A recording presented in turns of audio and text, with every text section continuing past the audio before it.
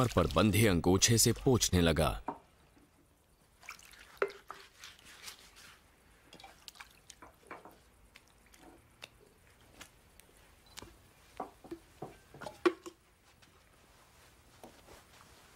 फिर शमोन पतरस के पास आया।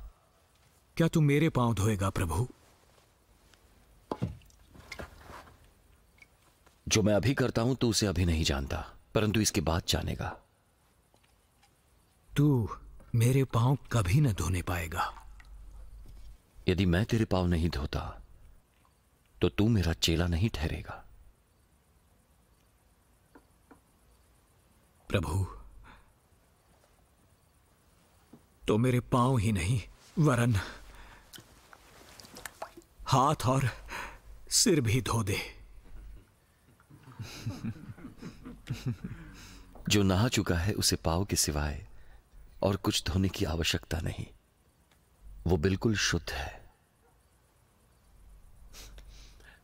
और तुम शुद्ध हो।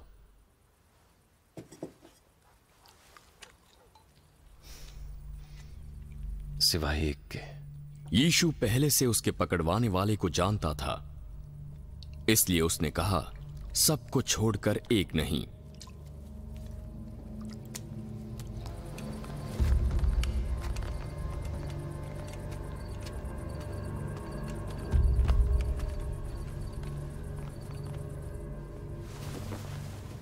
जब यीशु उनके पाँव धो चुका और अपने कपड़े पहनकर फिर बैठ गया। क्या तुम समझे मैंने तुम्हारे साथ क्या किया? तुम मुझे गुरु और प्रभु कहते हो, क्योंकि मैं वही हूँ। यदि मैंने प्रभु और गुरु होकर तुम्हारे पाँव धोए तो तुम्हें भी एक दूसरे के पाँव धोना चाहिए।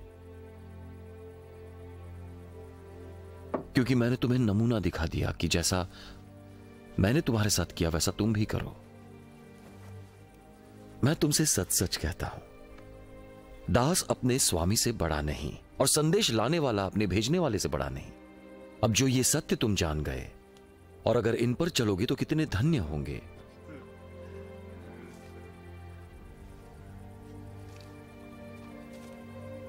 मैं तुमसे सबकी बात नहीं करता। मेरे चुने हुओं को मैं जानता हूँ, परंतु पवित्र शास्त्र, पूरा हो जो कहता है, जो मेरी रोटी खाता है, उसने मुझ पर लात उठाई। मैं इसके होने से पहले तुम्हें जताता हूँ कि जब वो हो तो तुम विश्वास करो कि मैं वही हूँ। मैं तुमसे सच सच कहता हूँ, जो मेरे भेजे हुए को ग्रहण करता है, वो मुझे भी करता है, और मुझे ग्रहण करने वाला मेरे भेजने वाले को ग्रहण करता है।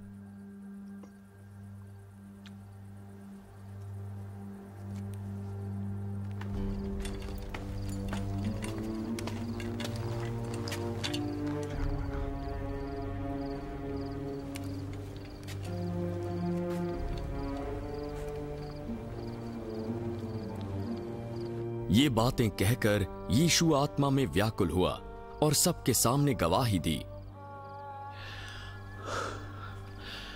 मैं तुमसे सच सच कहता हूँ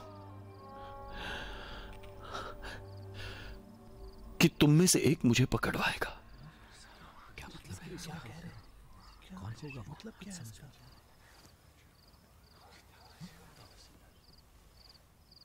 चेले संदेह से कि वो किसके विषय में कहता है एक दूसरे की ओर देखने लगे। उनमें से एक चेला जिससे यीशु प्रेम रखता था यीशु के पास बैठा था। शमोन पत्रस ने उसकी ओर इशारा किया। उससे पूछ वो किसकी बात करता है? तो वो चेला यीशु के निकट और सरका। वो कौन है प्रभु?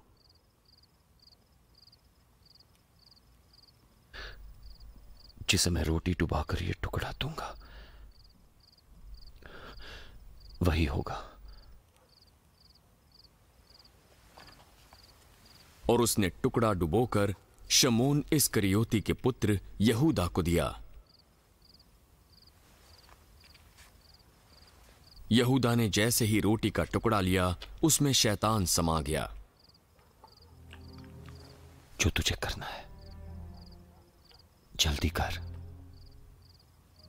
बैठने वालों में से किसी ने न जाना कि यीशु ने यह बात उससे किस लिए कही? क्योंकि यहूदा के पास पैसों की थैली रहती थी तो कुछ चेलों ने सोचा, यीशु ने उसे पर्व के लिए मोल लेने को भेजा है, या कंगालों को कुछ दे दे। यहूदा ने रोटी का टुकड़ा लिया और तुरंत बाहर चला गया।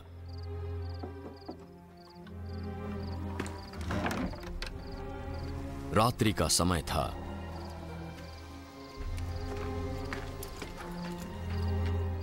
जब वो बाहर चला गया तो यीशु ने कहा, अब मनुष्य के पुत्र की महिमा हुई है और परमेश्वर की महिमा उसमें हुई है।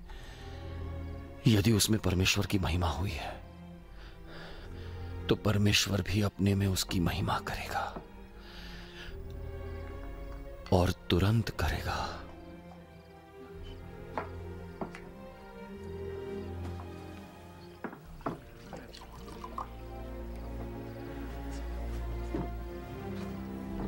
हे बालकों,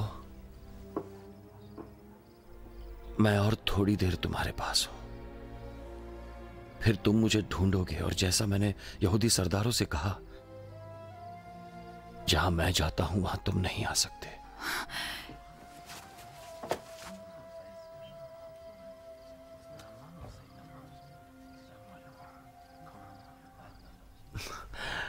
मैं तुम्हें एक नई आज्ञा देता हूँ। एक दूसरे से प्रेम रखो। जैसा मैंने तुमसे रखा है वैसा तुम्हें भी एक दूसरे से प्रेम रखना है। यदि आपस में प्रेम रखोगे तो इसी से सब जानेंगे कि तुम मेरे चेले हो। तो कहाँ जा रहा है प्रभु? जहाँ मैं जाता हूँ अभी तू मेरे पीछे नहीं आ सकता। परंतु इसके बाद मेरे पीछे तू आएगा। हे प्रभु अभी मैं तेरे पीछे क्यों नहीं आ सकता? मैं तेरे लिए अपना प्राण दे दूँगा। क्या तू मेरे लिए अपना प्राण देगा? मैं तुझसे सच सच कहता हूँ। मुर्गा बांग देने से पहले तू तीन बार मेरा इनकार करेगा। तुम्हारा मन व्याकुल ना हो। परमेश्वर पर विश्वास रखो। और मुझ पर भी। मेरे पिता के घर में रहने के बहुत से स्थान हैं। मैं तुम्हारे लिए जगह तैयार करने जा रहा हूँ। यदि न होते तो तुमसे यह ना कहता।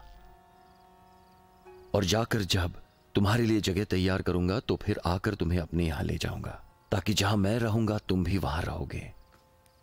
जहाँ मैं जा रहा हूँ वहाँ जाने का मार्ग तुम जानते हो। हे प्रभु हम नहीं जानते कि तू कहाँ जा रहा है तो हम वहाँ पहुँचने का मार्ग कैसे जाने? मार्ग और सत्य और जीवन मैं ही हूँ। बिना मेरे द्वारा पिता तक कोई नहीं पहुँच सकता। यदि तुमने मुझे जाना होता तो मेरे पिता को भी जानते। और अब उसे जानते हो और उसे देखा भी है। हे प्रभु पिता को हमें दिखा दे। ये हमारे लिए बहुत है। मैं इतने दिन से तुम्हारे साथ हूँ और क्या तू मुझे नहीं जानता? जिसने मुझे देखा है, उसने पिता को देखा है तो क्यों कहता है कि पिता को हमें दिखा? क्या तू विश्वास नहीं करता फिलिपुस कि मैं पिता में हूँ और पिता मुझमें है? ये बातें जो मैं तुझसे कहता हूँ, वो मेरी ओर से नहीं है।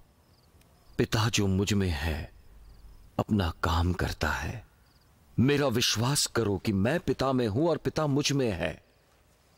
नहीं तो कामों के कारण विश्वास करो। मैं तुमसे सच सच कहता हूँ कि जो मुझ पर विश्वास रखता है, ये काम वो भी करेगा, वरन इससे भी बड़े बड़े काम करेगा। क्योंकि मैं पिता के पास जाता हूँ। जो कुछ तुम मेरे नाम से मांगोगे, वही मैं करूँगा। कि पुत्र के द्वारा पिता की महिमा हो। यदि तुम मुझसे, मेरे नाम से कुछ मांगोगे तो मैं उसे करूँगा। यदि मुझसे प्रेम रखते हो तो मेरी आज्ञाओं को मानोगे। मैं पिता से विनती करूँगा और वो तुम्हें एक और सहायक देगा।